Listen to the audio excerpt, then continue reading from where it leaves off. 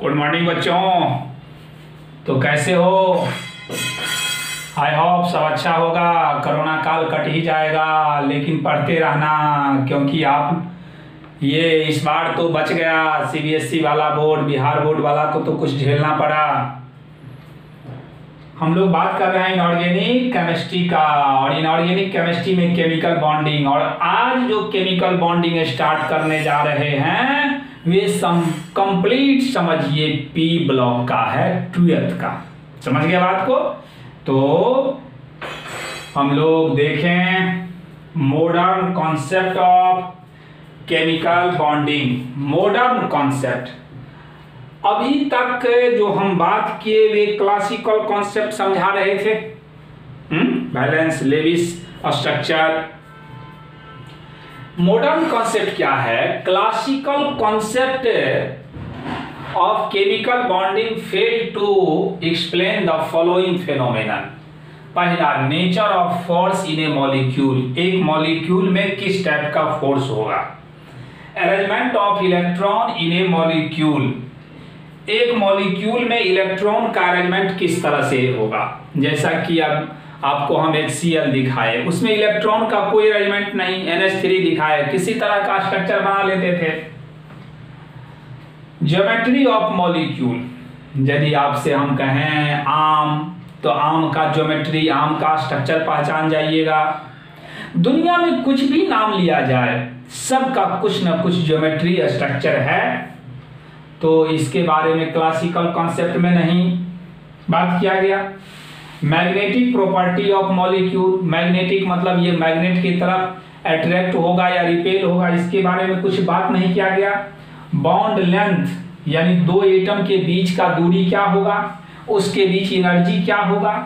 Incomplete octet and expansion of octet क्यों ऐसा होता है? जो इनकम्प्लीट में भी स्टेबल और आठ से ज़्यादा में भी स्टेबल इस सारी बात का जानकारी हम लोगों को कौन सा कॉन्सेप्ट में मिलेगा? Modern concept of chemical bonding में। ठीक है? तो वीडियो को पॉज कीजिए नोट कीजिए। एवहम demerits are explain by two theory valence bond theory जिसको हम वीवीटी कहेंगे, और दूसरा molecular orbital theory valence bond theory it was given by Heitler and London but explain by Pauling and Slater according to valence bond theory covalent bond is form by overlapping of valence atomic orbital यानी इससे पहले जो हम लोग को बैलेंट bond कहते थे, जो फॉर्मेशन होता है, वे किसके सहारे? तो इलेक्ट्रॉन का शेयरिंग का बात कर रहे थे। लेकिन अब कहा जा रहा है जो कोवैलेंट बॉन्ड का फॉर्मेशन जो है, वे overlapping of valence atomic orbital से होगा। अब ये बात आगे हम समझाएँगे, पहले पॉइंट आउट कर देते हैं, जो वीवीटी में क्या एजम्पन किया गया है, ठीक? तो चले हम लोग पॉइंट अभी नोट करते जाएँ, थोड़ा सा समझते जाएँ, फिर हम बाद में आगे चल करके इसको बताएँगे एक साथ।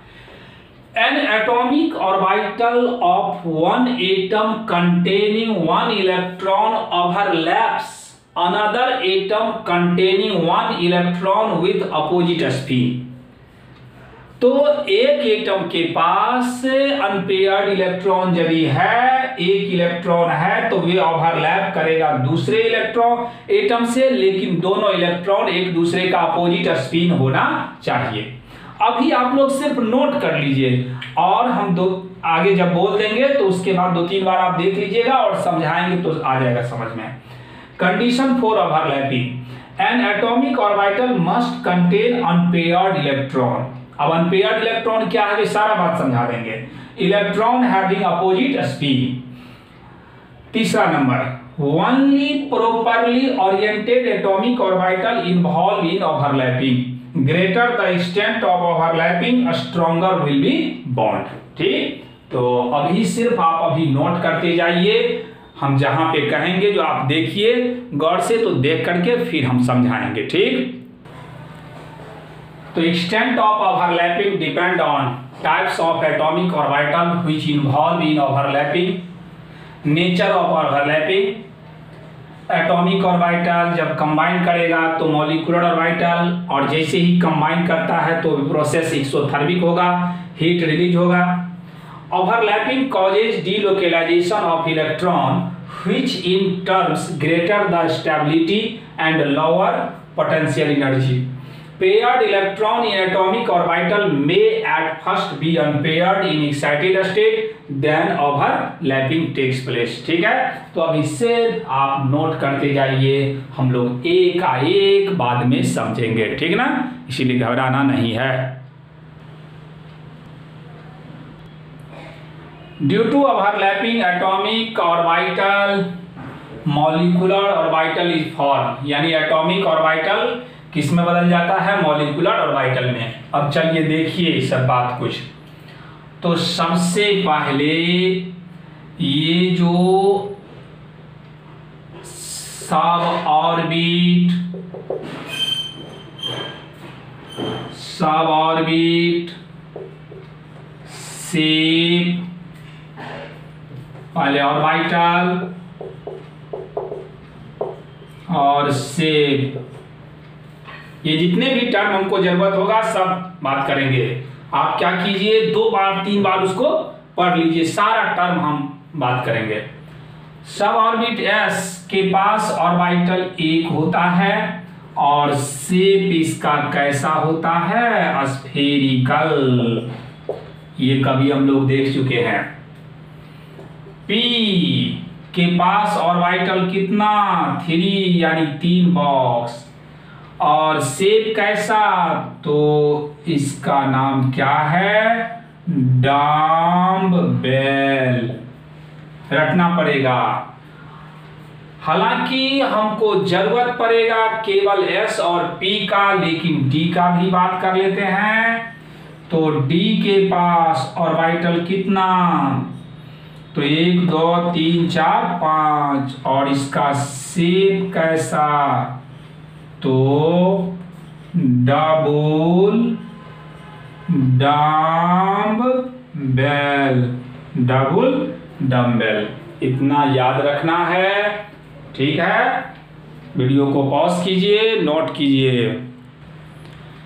तो जैसे ही हम लोगों को कहा जाए ओवरलैपिंग तो ओवरलैपिंग के लिए सबसे पहला कंडीशन है जो उस एटम के पास अनपेयर्ड इलेक्ट्रॉन होना चाहिए। और ये अनपेयर्ड और पेयर्ड क्या है, ये कॉन्फ़िगरेशन से पता चलेगा। तो बेरेलियम का atomic number four configuration one S two two S two two S पास हम जानते हैं सबसे पहले तो ये जान लीजिए, यही क्या है? वैलेंस सेल वैलेंस शेल या ऑर्बिट। और इसके पास जो ये देख रहे हैं, इसको नाम दे देंगे वैलेंस इलेक्ट्रॉन। ठीक है?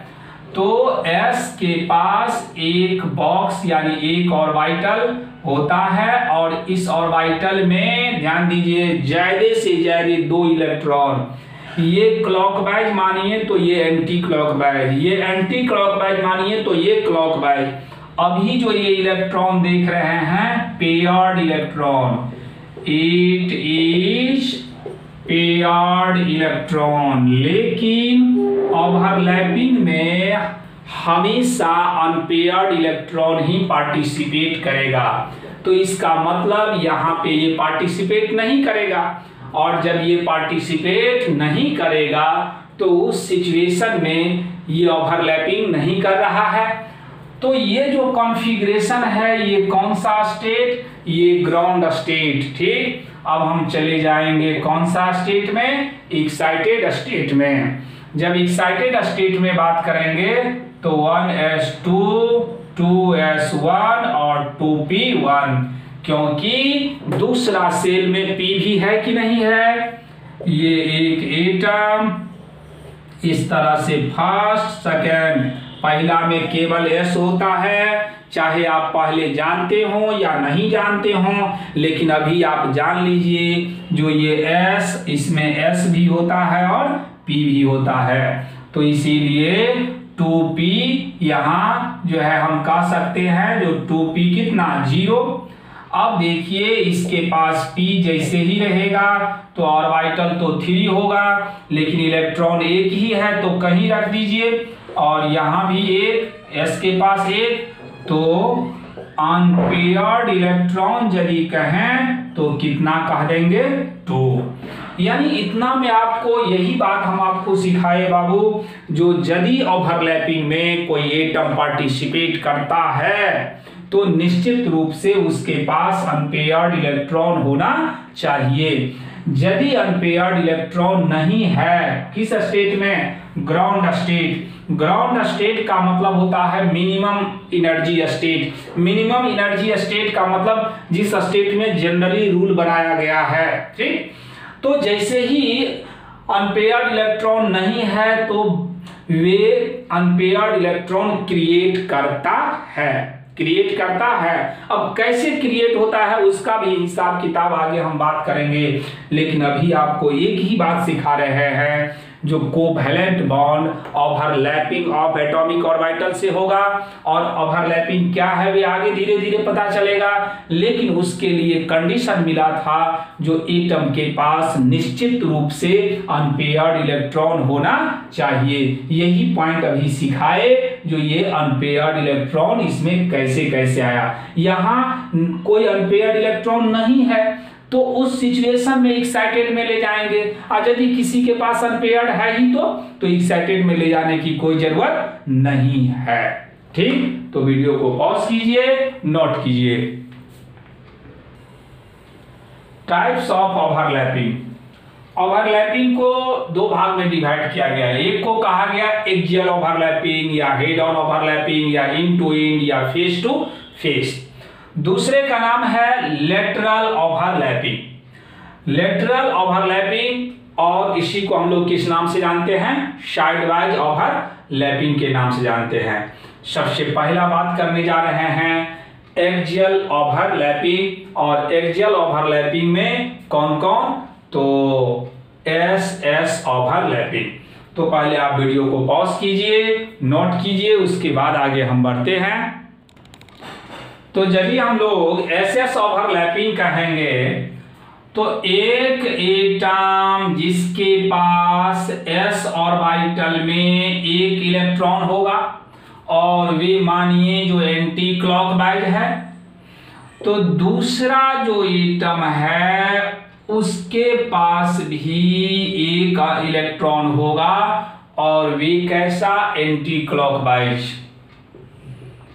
यदि इस तरह से दोनों मिले, ये दो इलेक्ट्रॉन आ गया और ये जो दो इलेक्ट्रॉन देख रहे हैं, ये ओवरलैपिंग एरिया में आ गया और यहाँ पे ये जो बॉन्ड बना, इसको ही हम लोग कहेंगे सिग्मा बॉन्ड क्या समझे बात?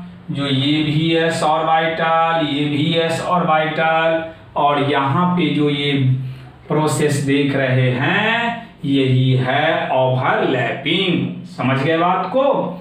लेकिन वास्तव में ये ऐसा नहीं होता है। ये तो हम लोग समझने के लिए बात किए। ये यदि बात करेंगे रियल तो इस तरह से हम दिखाएँगे। ऐसा। अब इसमें और इसमें क्या अंतर है? ये एक बाउंड्री लाइन इंडिकेट करता है, लेकिन ये वास्तव में इलेक्ट्रॉन के पास कोई बाउंड्री लाइन नहीं होता है। ठीक ना? तो यदि हम ये बात करें तो यहाँ पे हम देखेंगे, जो ये जो बन रहा है, ये मॉलिकुलर ऑर्बिटल बन रहा है। क्या बना? मॉलिकुलर और वाइटल। और यहाँ पे ये जो देख रहे हैं, ये इसका नाम है इंटर एटॉमिक एक्सिस। ये इंटर एटॉमिक एक्सिस के नाम से जाना जाएगा। ठीक है? तो बदमाशी यदि किए तो दे दनादन दे दनादन। ठीक ना?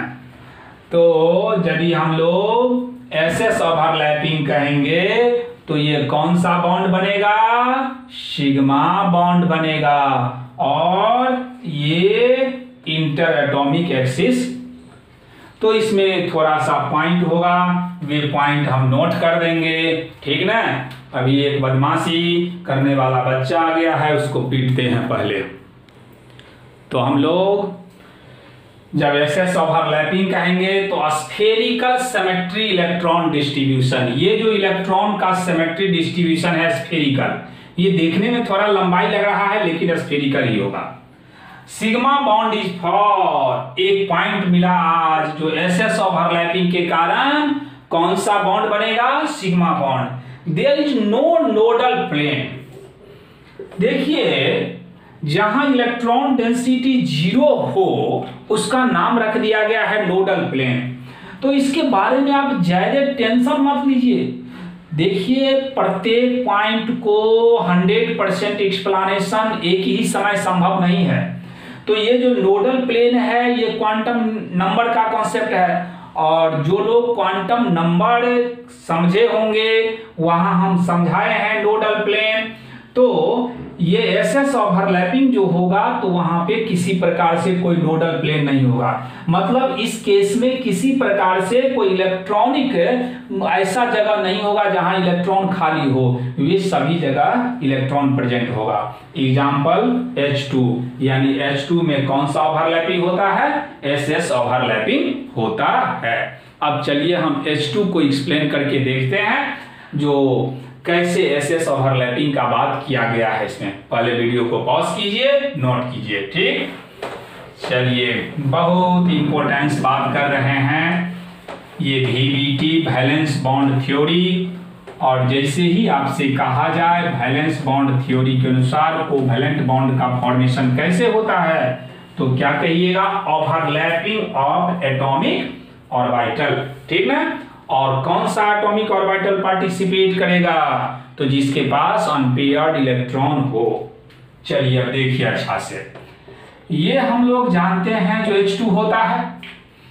तो ये जो H है 1s1 और जब 1s1 मतलब एक इलेक्ट्रॉन या तो क्लॉकवाइज समझ लीजिए या नहीं तो एंटी क्लॉकवाइज तो ये दिखा दिए कैसा? एंटी क्लॉकवाइज ये एंटी क्लॉकवाइज है।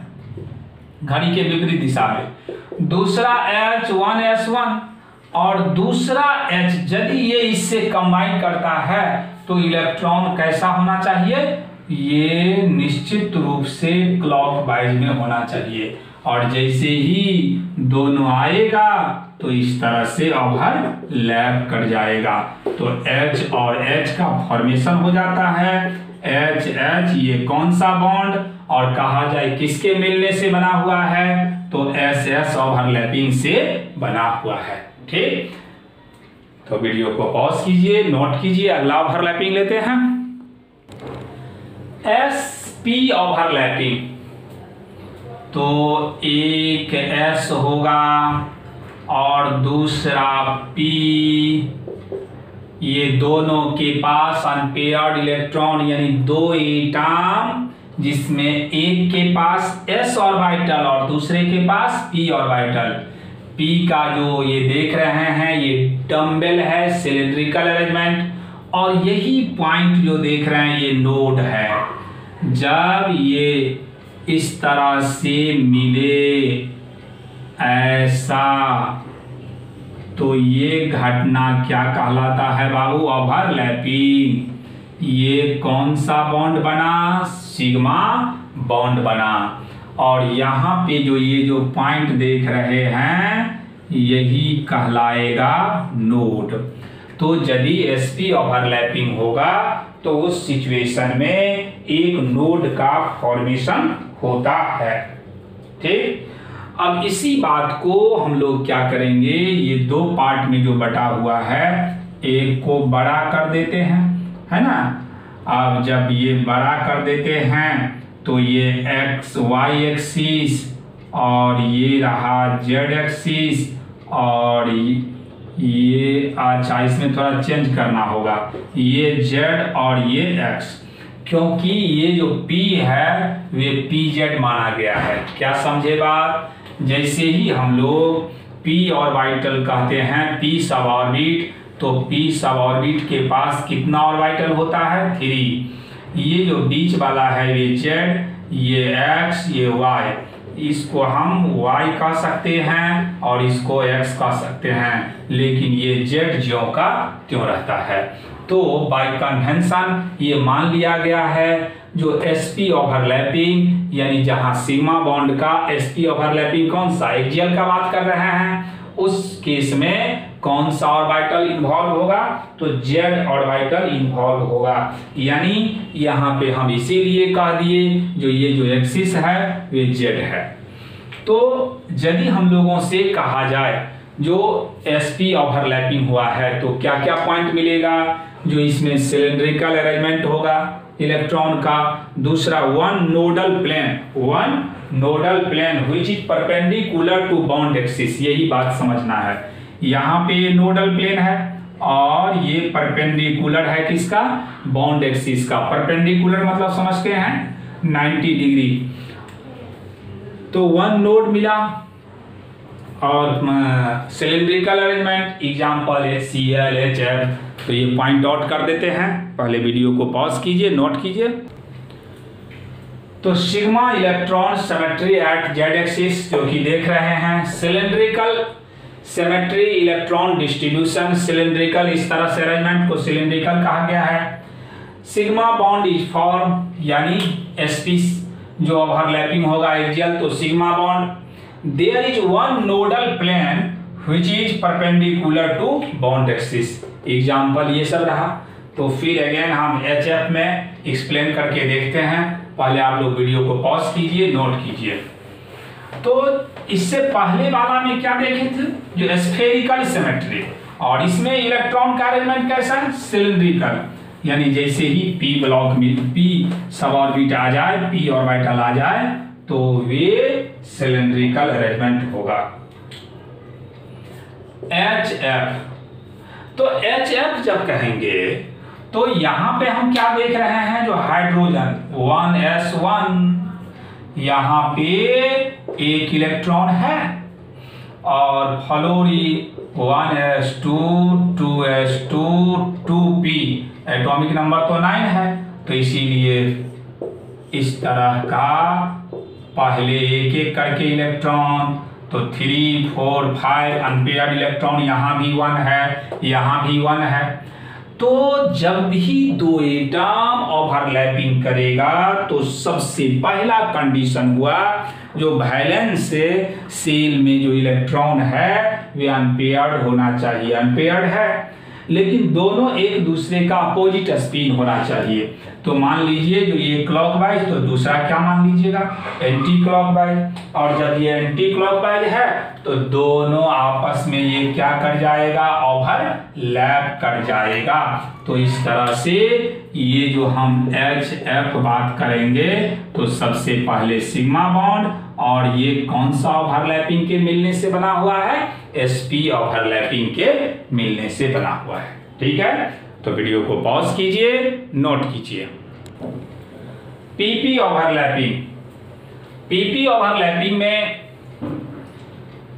पी ये सेप हो गया। यदि इस तरह से पॉजिटिव दोनों एक साथ हो, यानी दोनों एक साथ हो तो इस समय ओवरलैपिंग होगा।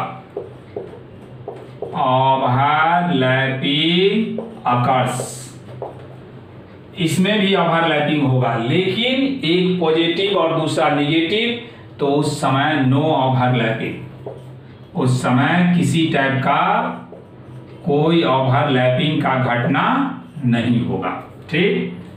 तो चलिए अब हम बात करते हैं। ये P, ये Z है। दूसरा ये Z है। जैसे ही ओवरलैप करेगा तो देखिए कैसे ओवरलैप करेगा। ऐसा, है ना? यानी दोनों के पास अनपेयर्ड इलेक्ट्रॉन होगा। और यदि ओवरलैप किया, यहाँ पे कौन सा बॉन्ड बनेगा? सिग्मा बॉन्ड और ये जो देख रहे हैं, ये कौन सा पॉइंट है? नोडल पॉइंट और ये नोडल पॉइंट जो है बॉन्ड एक्सिस के, जहाँ बॉन्ड बना है, उसके परपेंडिकुलर है। है तो इस तरह से हम लोग पीपी ओवरलैपिंग जैसे ही हम लोग कहेंगे तो ये दो नोडल प्लेन बन गया जो कि परपेंडिकुलर बॉन्ड एक्सिस तो एस ओवरलैपिंग में कोई नोड नहीं एसपी में एक नोड और पीपी में दो नोड जनरली हम लोग ये पीजेड पीजेड का ही बात करेंगे। तो इसमें इलेक्ट्रॉन का जो डिस्ट्रीब्यूशन है वे कैसा सिलेंड्रिकल अरेंजमेंट इसमें भी सिग्मा बॉन्ड का फॉर्मेशन हुआ है। इसका example F two C L two B R two I two ठीक? तो वीडियो को पॉज कर लीजिए, फिर अगेन हम पॉइंट नोट कर देते हैं। तो इसमें हम क्या कहेंगे? सिग्मा बॉन्ड का फॉर्मेशन होगा। Cylindrical symmetry electron distribution there are two nodal plane which are perpendicular to bond axis example ये रहा। अब ये आपको दिखाए हैं जो, ये जो एफ़ का इलेक्ट्रॉनिक कॉन्फ़िगरेशन उसमें अनपेयर इलेक्ट्रॉन वन था ना तो इस तरह से बॉन्ड का फॉर्मेशन करेगा, ठीक? तो अब हम लोग आगे बात करें। नेक्स्ट तो लेटरल ओवरलैपिंग और लेटरल ओवरलैपिंग में हम लोग पीपी ओवरलैपिंग का बात कर रहे हैं। तो ये पी और बाइटल ये मान लीजिए पी एक्स है तो दूसरा भी पी एक्स होना चाहिए। तो इस तरह से यदि ओवरलैप करे तो इसका ही नाम रख दिया गया लेटरल ओवरलैपिंग और इस लेटरल ओवरलैपिंग के कारण कौन सा बॉन्ड का फॉर्मेशन होगा?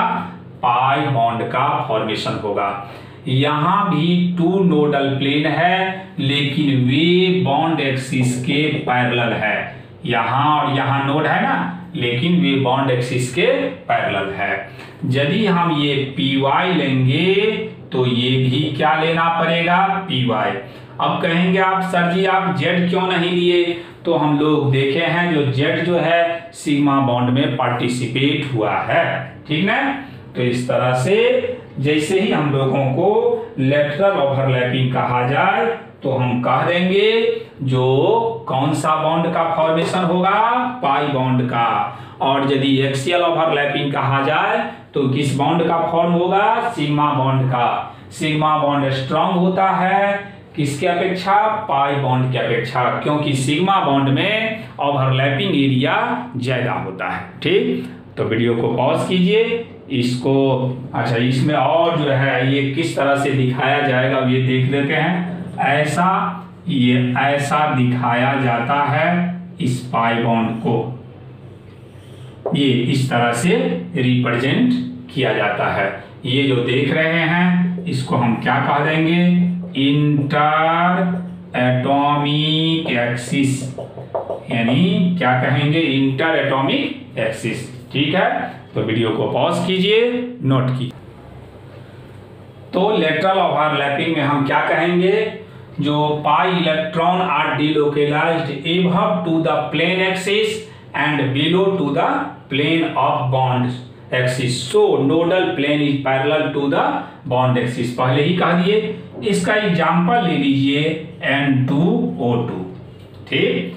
तो वीडियो को पॉज कीजिए नोट कीजिए और इससे रिलेटेड कुछ इंपॉर्टेंस बात पहले कर लेते हैं। तो हम लोग क्या देखे? जो सिग्मा बॉन्ड और पाई बॉन्ड देखे। समझ गए ना? जो सिग्मा बॉन्ड का फॉर्मेशन कौन सा ओवरलैपिंग से? तो एक्जियल से। और पाई बॉन्ड का ओवरलैपिंग कौन सा ओवरलैपिंग से? तो लेटरल से। चलिए अब देखिए, जहाँ कहीं भी, ध्यान दीजिए, जहाँ कहीं भी सिंगल बॉन्ड होगा, वे हमेशा सिग्मा होगा।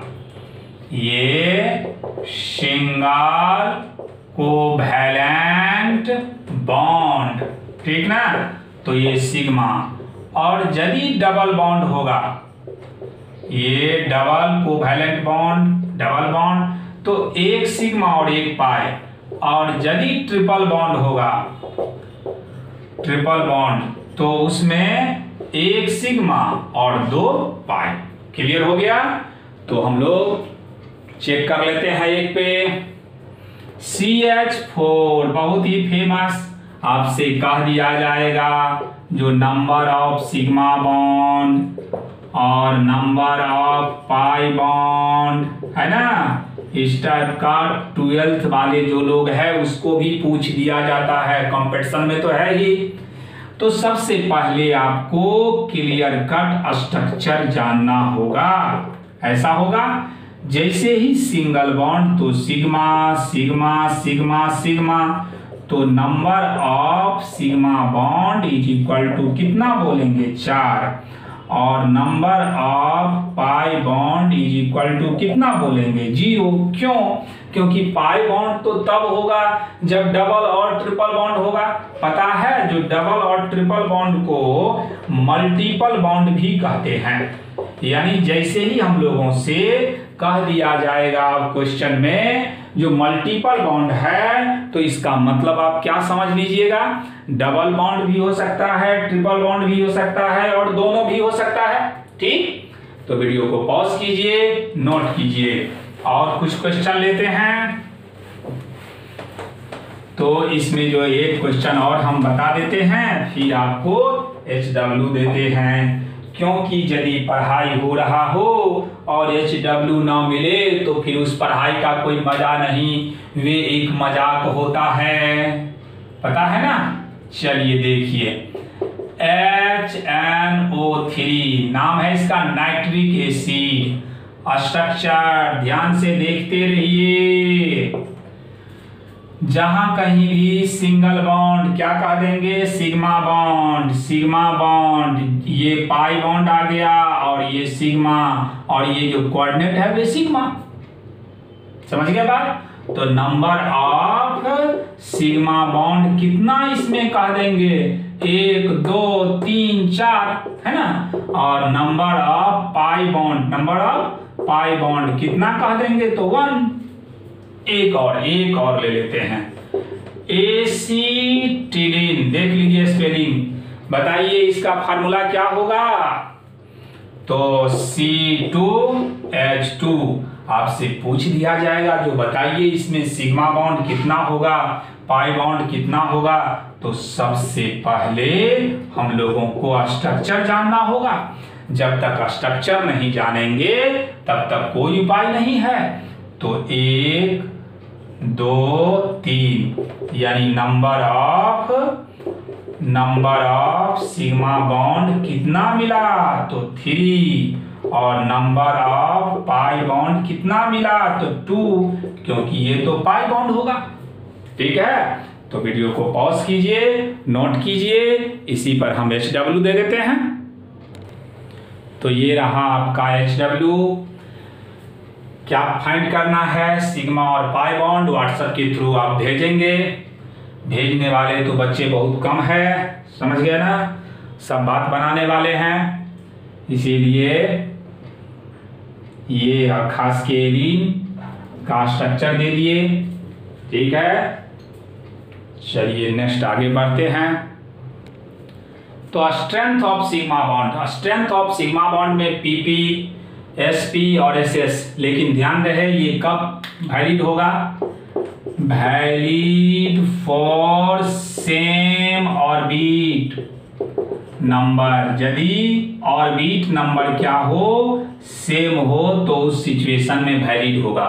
कहने का मतलब टू पी टू पी उसके बाद two s two p two s two s ठीक है?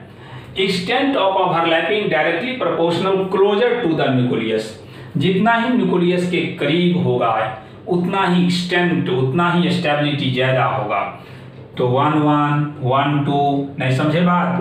One s one s one s two s है ना? Two s two s two s three s three s three s तो इस तरह से सेम यदि सब ऑर्बिट लिया जाए तो बात किया जाएगा। क्या समझे बात? यहाँ पे ये आपको समझाए हम, यदि पीपी ओवरलैपिंग हो और एसपी और स्ट्रेंथ कहा जाए तो पीपी का क्या होगा? ज़्यादा होगा। और स्ट्रेंथ ज़्यादा, इसका मतलब एक्सटेंट यानी ओवरलैपिंग यानी कॉन्टेक्ट एरिया ज़्यादा हो। वीडियो को पॉज कीजिए नोट कीजिए। पीडी ओवरलैपिंग ये पी ऑर्बिटल और ये डी तो यदि ये पी डी ओवरलैपिंग इस तरह से हो, हम लोग देखे हैं ना जो डी का ऐसा हुआ है ना देखिए, अब दिखाना थोड़ा तो यहाँ पे ये जो ओवरलैपिंग है, वे कौन सा बॉन्ड बनता है? तो कह देंगे p pi d pi bond p pi d pi bond क्योंकि जैसे ही दो कॉन्टेक्ट एरिया हो तो वहाँ पे हम कह देंगे जो कौन सा बॉन्ड का फॉर्मेशन होगा बाबू? तो पाई बॉन्ड का। डी में स्पेशली डी में specially d x square minus y square d x square minus y square यदि ये ओवरलैप कर रहा है यहाँ पे ये कौन सा बॉन्ड बन गया? सीमा बॉन्ड बन गया, है ना? तो इस तरह से ध्यान दीजिए स्पेशली डी का जो फॉर्म है डी का कितना फॉर्म है? D x y d x z d y z d x square minus y square और डी जेड स्क्वायर ये जो है आपको हम क्वांटम नंबर में समझाए हुए हैं। तो इसमें किसी प्रकार से कोई रिस्ट्रिक्शन नहीं है। लेकिन ये जो ये जो सिग्मा बॉन्ड बनेगा डी के कारण, ये डी एक्स स्क्वायर और वाई स्क्वायर से ही बनेगा। ठीक है? तो इस तरह से हम लोग ओवरलैपिंग का बात फिनिश कर लिए। एक और दिखा दें। ये डी एक्स वाई का, देखिए। ऐसा, ये एक्स और ये वाई है। यदि ऐसा हो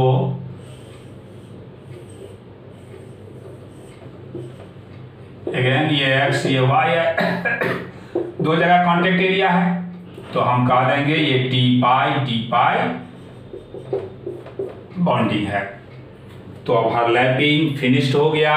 कल हम बात करेंगे हाइब्रिडाइजेशन बहुत बहुत इंपॉर्टेंस जो ट्वेल्थ में खास के हो या कंपटीशन में, या निश्चित रूप से क्वेश्चन आता ही है, नहीं आने का कोई गुंजाइश नहीं है। ठीक है? बस आज के लिए इतना है।